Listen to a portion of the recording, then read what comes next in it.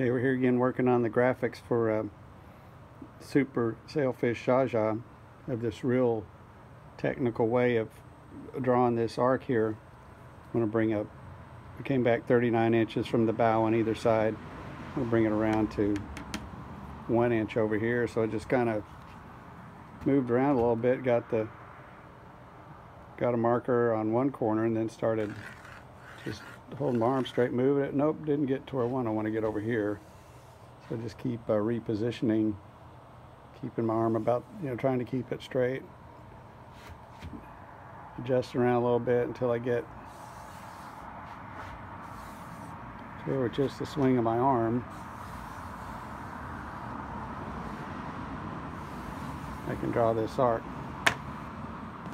So then I took the pencil, started on the other side, and describe that line you see.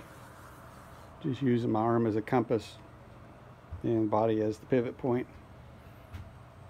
Tried a few uh, few different lines on one side. Finally picked the one I wanted where we came back just a little bit and drew this arc uh, tapering down and laid a piece of wax paper across it.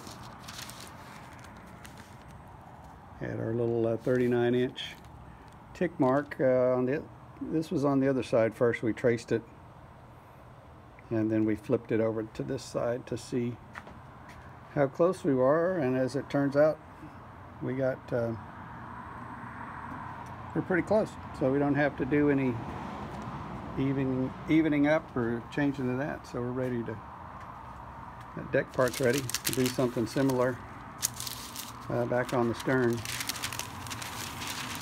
We'll be back with you in a bit.